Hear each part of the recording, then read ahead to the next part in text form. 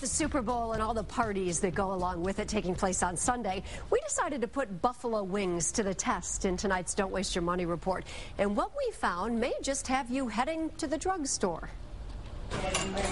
Buffalo wings are a specialty at the Candlelight Inn restaurant. Owner John Tracy serves up plenty at game time. Football and finger foods. Simple as that. I mean, I think Super Bowl day, just a day alone, we went over to, to 8,000 pounds. But if you don't have a favorite wing joint for game time, how good are frozen buffalo wings? Consumer Reports just tested seven. There were ones from Tyson, TGI Fridays, and even these from the drugstore Walgreens. Testers sampled more than 800 to find the best. You want a moist, tender chicken with a crispy coating, and you want spiciness, but not so much that it overpowers the wing.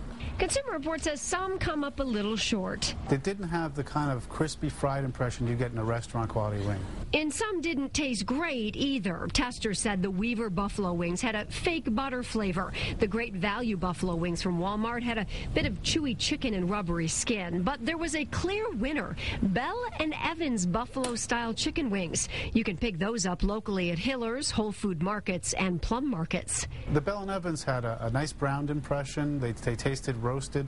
They had a good amount of heat and some cumin flavors that really came through. They go for about $7 for a 16 ounce box. But get this those Walgreens wings, I just had to give them a try because testers said while they're not quite as tasty as the Bell and Evans chicken wings, they were very good overall, tester said, with a slight vinegar, paprika, and red pepper flavor.